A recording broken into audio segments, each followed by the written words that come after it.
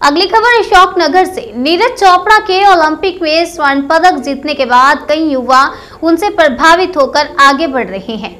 अशोकनगर ज़िले के बमनाई गाँव निवासी छात्र आशीष यादव ने महज 17 साल की उम्र में नेपाल में बॉक्सिंग में गोल्ड मेडल जीतकर उपलब्धि हासिल की है।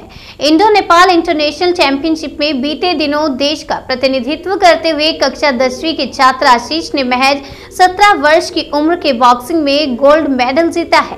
अंतर्राष्ट्रीय स्तर पर ज़िले का नाम रोशन करने के बाद आशीष का सपना ओलंपिक में जाने का है।